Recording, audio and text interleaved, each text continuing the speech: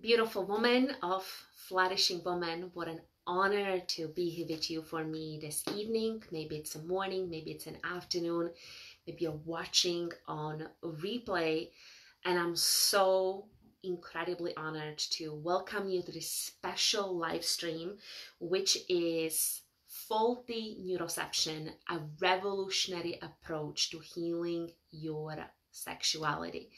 So if you're just coming to the group, I want to uh, wholeheartedly welcome you to the world of nervous system healing and sexuality healing in a trauma sensitive way that allows you to reclaim your health, your pleasure, deep love for your body, and actually start making love all night long. So, what we're going to dive into today is really deep understanding around what neuroception is, what faulty neuroception is, and the role it plays in your health, in your sexuality, and in the way you relate to your partner if you're blessed to have one. So, this is for you whether you have a sexual pain condition. Hi, Carla. Hi, beautiful. Uh, this is for you if you're suffering from sexual trauma, from sexual numbness. This is also for you if you are sexually shut down and you just kind of don't know, you can't figure it out what's going on in your body, what's happening inside of your sexuality, and you want to, you know, gain a deeper understanding of what might be the possible root cause of your challenges. So Carla is here with me, Shay is here with me, Denise is here with me. Welcome, beautiful woman. So glad to do this together. So I want to start actually by sharing with you a story of one of my client who really serves an incredible example of faulty neuroception and the way it was impacting both her sexuality and her marriage altogether. So I want to share with you a story of Lee, who is a beautiful woman in her mid 30s. She is based in Australia and she has suffered with a very special sexual health condition called vaginismus for well over seven, eight years, as long as she was married. Mm-hmm. Hi, Ina. Hi, beautiful. So, if you don't know what vaginismus is, vaginismus is a sexual health condition where the pelvic floor muscles are in a chronic state of contraction. And that contraction can cause muscular spasms, it makes the pelvic floor really really tense which can you know cause things like overreactive bladder. It can cause things like um, uh, cystitis uh, a lot of lot of challenges. And on top of that it's pretty much impossible to have penetrative sex and it's very very difficult to feel sexual pleasure so Lee came to me pretty much in a state of desperation where she was married for seven years with the love of her life. They were like madly, what is it called? Like head over heels love. And they wanted to start family. And it was very embarrassing for her to share that in the seven years of her marriage, they never ever had intercourse and she's like you know what's wrong with me? Why is my body responding like that? Like i love my husband so much. I want to have sex with him. And it's just not happening. So when we begin to you know address her body her mind emotions to understand like what are the mechanics of vaginismus because it's one thing to be you know relaxing your pelvic floor muscles which a lot of good pelvic floor therapists do and that is value in that and it's beautiful and there's nothing wrong with that but it does not go deep enough. It just does not go deep enough. And one thing I love to do with my students and clients is like, you know, why is what is happening in your sexuality actually happening in the first place? Let's strip beneath all of this like busyness or the symptoms and let's get to the core of the matters. So when we got to the core of the matters with Lee, she's like, I am just petrified of having sex. And that had nothing to do with her husband. It had nothing to do with the love and intimacy she shares with her partner. it had moreover to do with some of her upbringing and a lot of religious guilt and shame that was actually stored in her body and that made her neuroception or her sense of like uh, perceiving danger in the environment lock down her pelvic floor tissues lock down her vulva and made penetrative sex downright impossible. So what we really focused on in our work, instead of like again being busy and maybe looking at pelvic floor stretches or just relaxation of pelvic floor muscles, all of that valuable, don't get me wrong, but we got to the core of the matter to actually addressing her nervous system and how her nervous system is responding to you know being sexual being sexually open being sexually intimate. And by doing that she got oh my god like such a deep healing in her body that in space of couple of months after 7 years of never ever having sex she not only you know started to make an intimate beautiful lovemaking with her partner but they actually stepped into conceiving their baby and now they are parents which is remarkable. So uh, Lee, uh, Lee transformation and Lee healing really inspired me to come on today and share with you what neuroception is, what faulty neuroception is, and how that plays role in your sexuality, in your sexual experiences, in your sexual healing, and in everything you experience as a sexual being, as a sexual woman. So, neuroception is actually a term that comes from Stephen Porges. Uh, if you don't know Stephen Porges, he is very well known in the trauma resolution world, in the nervous system world. He's the founder of the polyvagal theory. And uh, Stephen Porges has coined neuroception as really how your nervous system is perceiving whether you are in a safe situation whether you are in threatening situation or whether you are in dangerous situation. So stay with me here for a minute. This is really, really important piece. Your neuroception does not happen in your cognition. It does not happen in your conscious thought. Your neuroception is directly connected to your primal brain, is directly connected to your unconscious. So this, uh, you know, primal part of your brain is constantly scanning 24 7 you know am i in a safe situation am i in a dangerous situation or am i in a threatening situation now according of St- stephen porges and polyvagal theory uh, you have a nerve circuits inside of your nervous system that when you feel safe when your nervous system perceives that you're safe you're primed for connection you're primed for intimacy. When you are in a threatening, uh, threatening environment, you're perceiving that you're in a threatening environment, uh, you're primed for flighting, like flighting away or fighting, fight or flight. And if you are in like downright dangerous situation, you're going to shut down. So we have possibility for sexual connection when our nervous system perceives our sexual partner or like the psycho-emotional space or the environment that you are in um, as a safe place to sexually connect. Or we can sexually fight with our partners. We can sexually flee with our partner if we are perceiving it as a threatening experience or possibly threatening experience. Or we can sexually shut down if we are perceiving something as plain downright dangerous experience.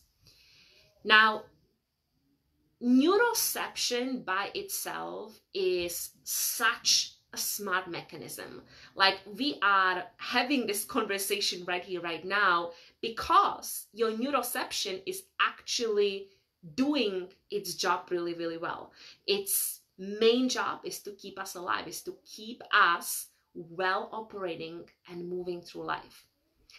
The challenge becomes, however, when our neuroception gets faulty.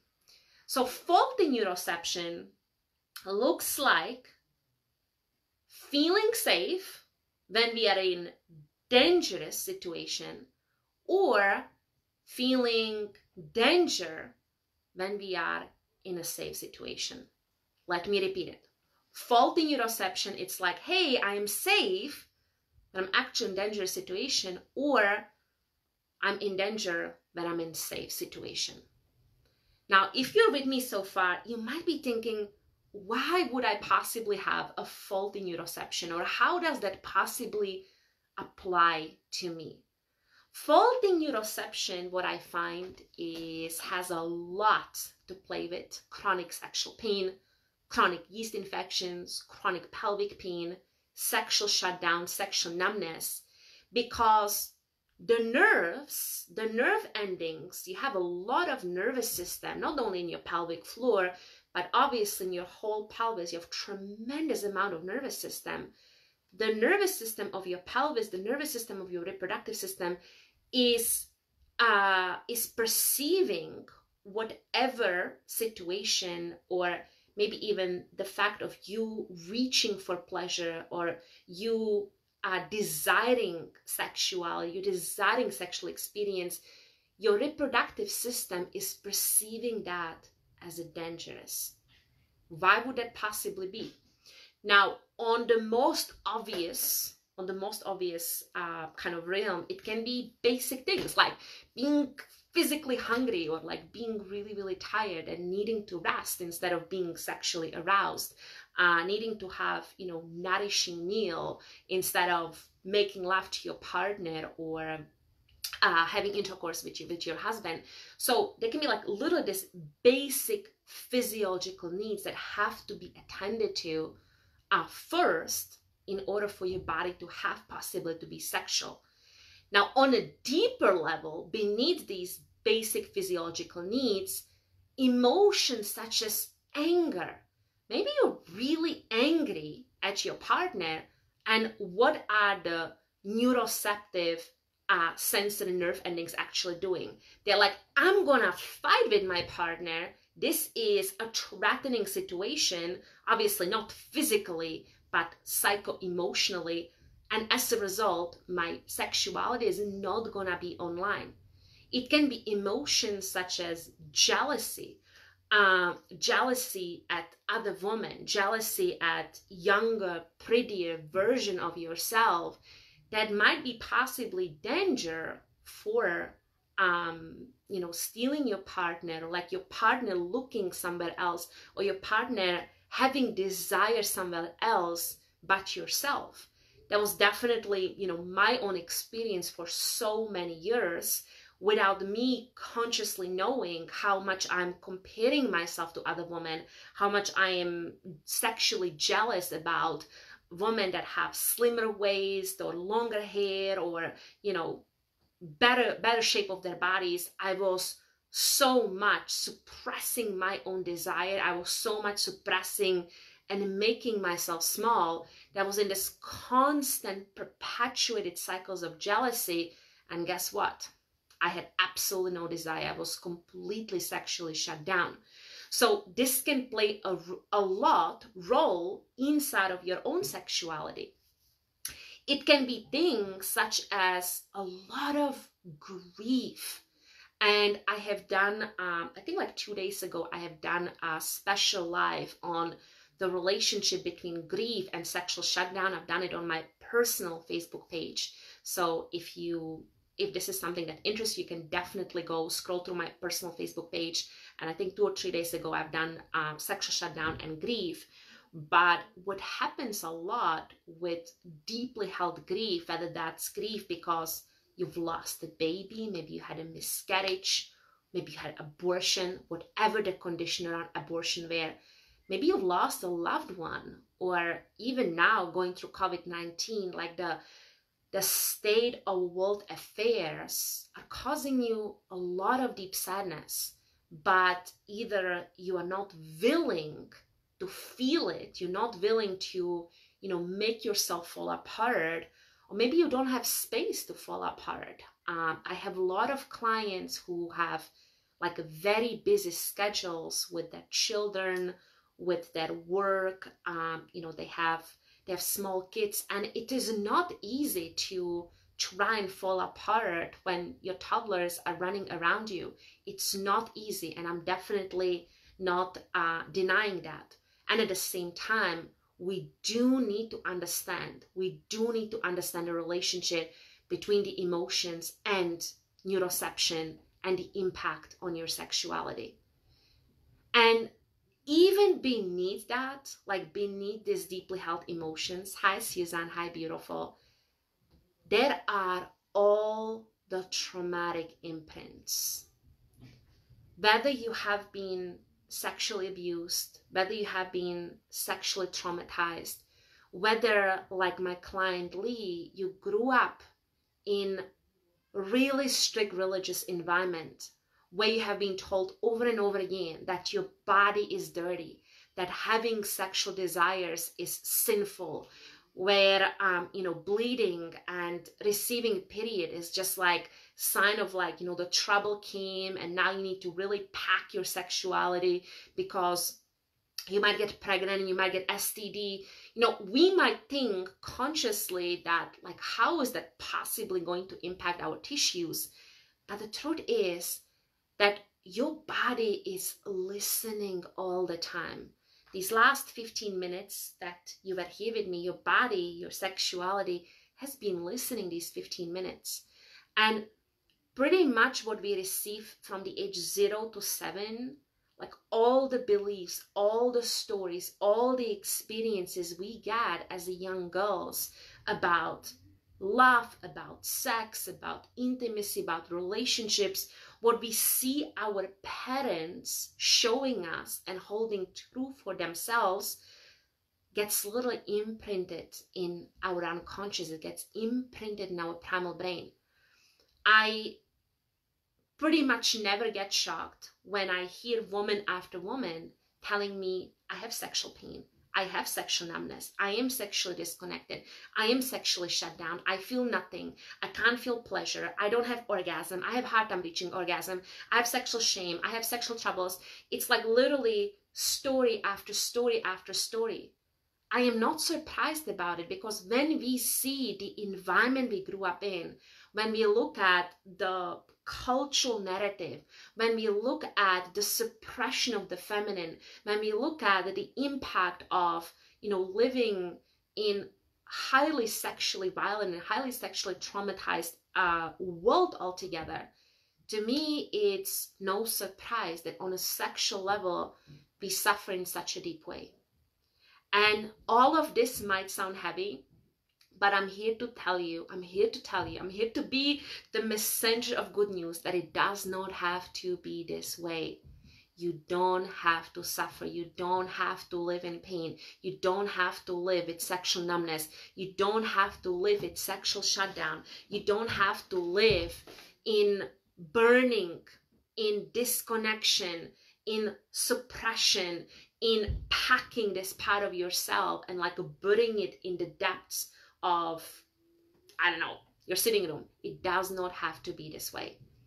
And it starts, it boils down the foundation of this is to start rewiring the nervous system and actually begin to signal to this neuroception part of your nervous system that you being in your sexual pleasure you being in your sexual aliveness, you being like sexually awakened, empowered woman is a safe experience. It's safe to be sexual. It's safe to be sexually open. It's safe to be sexually awakened. And we want to bring that as an experience, as a lived experience in your body.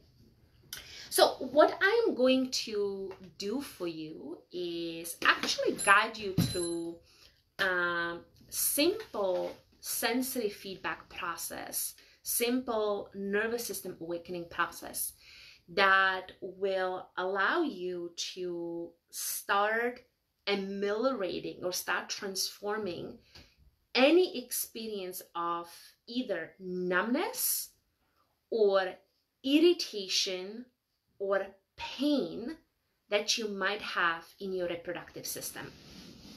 So I want you to uh, actually decide for yourself what sensation or what like sensational experience you're going to work with. And you have three to choose choose from. Either numbness or pain or tension discomfort. So numbness pain tension discomfort. And you can let me know in the comments below which one are you going to work with you're going to choose to work with in this simple neurosensory exercise so for the exercise, you want to be comfortable. You can do this sitting up. You can do this lying down. You want to invite your body into place of comfort. And I'm going to invite you to start by taking a deep breath. So you'll breathe in through the nose and out through the mouth.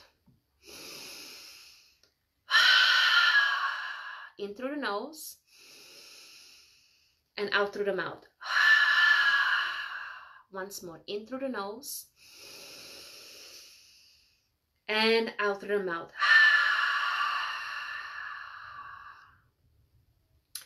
And maybe choosing to close your eyes if it helps you with connection. And I would love for you to connect with your pelvis, connect with your pelvic bowl. So you have permission to feel any part, any location of yourself from the belly button through your two pelvic bones, the front of the pelvis, the back of the pelvis, all the way down to the pelvic floor. And you want to locate any part of your pelvis that might feel contracted if you're working with contraction, that might feel numb if you're working with numbness, or that might be holding some pain if you're working with pain. So locate in your mind's eye a part of your pelvis, a part of your reproductive system that feels either numb or contracted or in pain. And as you are attuning, as you're feeling, as you're connecting to this part of your pelvis, I want you to say to yourself, maybe by placing your hands on your heart, it is safe for me to feel. It is safe for me to feel. It is safe for me to feel. And now connecting deeply, deeply into your heart, into this essence in your heart that knows love, that knows love, that knows nourishing, intimate love in an intimate way. I want you to start looking at the part of your reproductive system, whether it's the numb part or the contracted part. I want you to start looking at it from the place in your heart. So you're observing the piece, the location your pelvis from your heart. You're viewing it from your heart. And really noticing what does it feel like to notice this pain or this contraction from my heart? What does it feel like to look at it, to observe it from this unconditional place of love inside of my heart? And just be in the energy of viewing this part of you from your heart. Beautiful.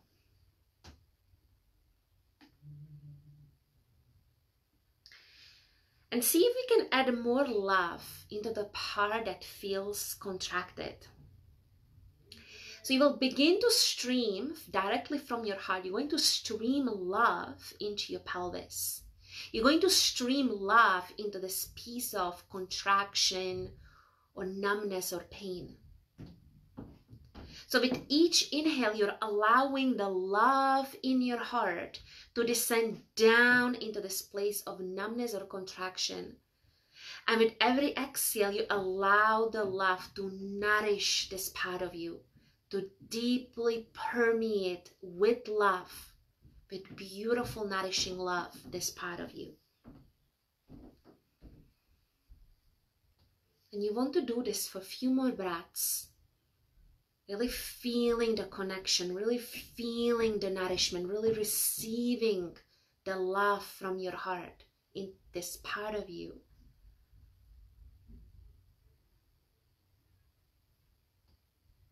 And notice how it shifts. Notice how this numbness or this contraction is starting to shift, is starting to change. And now you will ask this part of you one question. You're going to ask this part of you one question. You're going to give this part a permission to speak, permission to express itself. What do you need the most? So maybe placing hand on this part of you and really attuning to the answer. What do you need the most?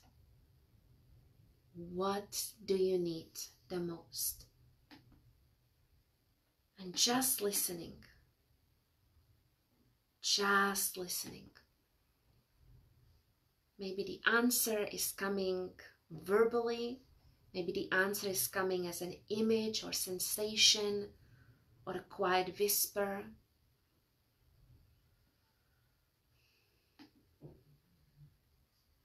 You're safe to feel, you're safe to experience.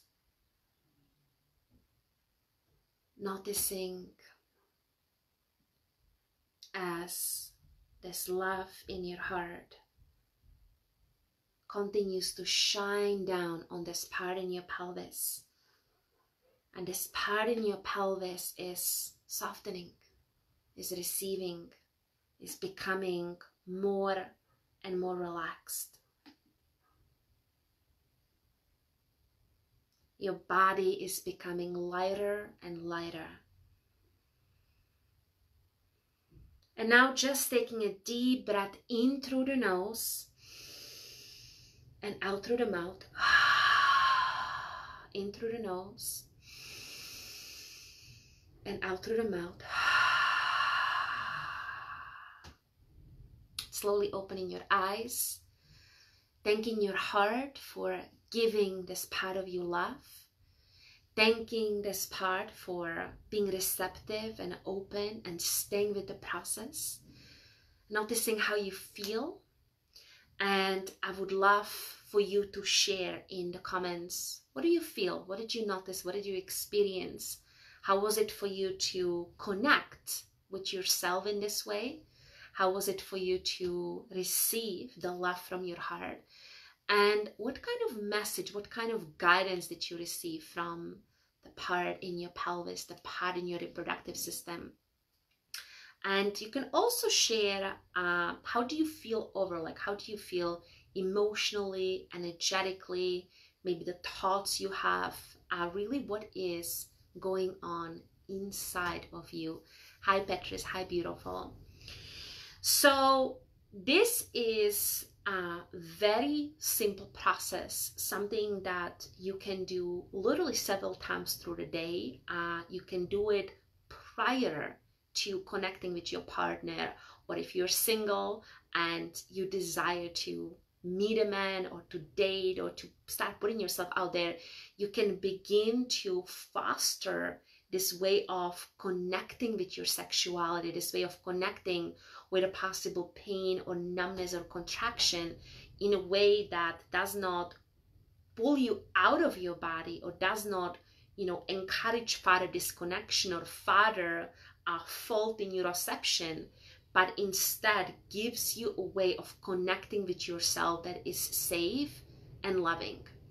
And the power of this is that over time, you'll begin to rebuild and you know start shifting away from faulty neuroception or from perceiving a possible danger even as you're safe you have shelter you're protected you are an emotionally okay environment and actually allow your brain to begin to register more and more safety as it relates uh, for you to connect with your body, with your sexuality, with your pleasure, with your desire, with what you most want in relationship to yourself.